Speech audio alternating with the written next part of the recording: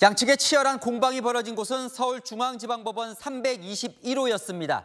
백현동 대북 송금 검사 사칭 의혹까지 치열한 공방이 벌어졌는데요. 종일 그 안에서 무슨 일이 벌어졌는지 김정근 기자가 이어갑니다. 법정에 들어선 이재명 더불어민주당 대표.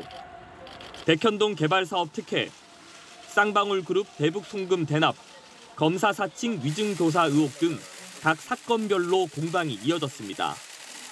검찰은 배임 혐의를 받고 있는 백현동부터 포문을 열었습니다. 권력형 지역 토착 비리 사건이라며 백현동 개발 비리로 인해 성남시가 200억 원 상당의 손해를 봤다고 강조했습니다. 하지만 이 대표 측은 성남시의 손실액 200억 원 산정 근거를 따지며 배임이 성립하지 않는다고 맞섰습니다. 심사를 맡은 유창훈 판사도 백현동 개발과 유사한 사례를 더 제시해보라고 검찰에 요구하기도 했습니다. 오후엔 제3자 뇌물 혐의인 대북송금 대납과 관련해 김성태 전 쌍방울그룹 회장과 이재명 대표가 연락을 주고받은 정황에 대해 공방이 오갔습니다.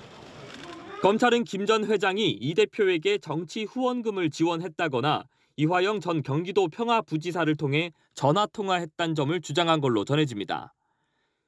이재명 대표는 직접 발언을 이어가며 자신의 혐의를 적극 부인한 걸로 알려졌습니다.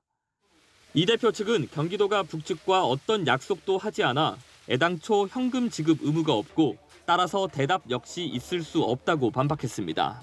채널A 뉴스 김정근입니다.